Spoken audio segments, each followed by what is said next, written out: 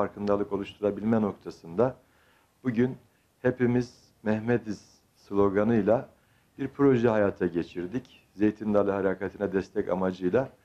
Burada Barbaros ailesi olarak sadece görsel bir sunum değil, aynı zamanda e, Mehmet'imize, Mehmetçiğimize destek amacıyla tüm okul aile birliğimiz, öğrencilerimiz, velilerimizle beraber bir yardım kampanyası da oluşturduk. Bu e, genel anlamda e, 7658,5 TL para topladık. Bunlar bu rakamların bizim için e, sadece anlamı semboliktir.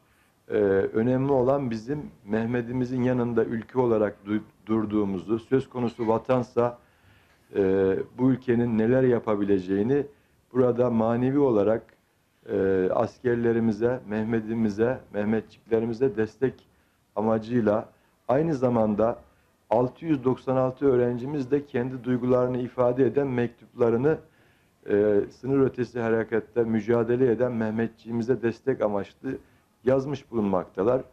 Biz e, ülkemizin bekası söz konusu olduğunda bu milletin neler yapabileceğini bir kere daha burada e, tüm dünyaya e, haykırıyoruz.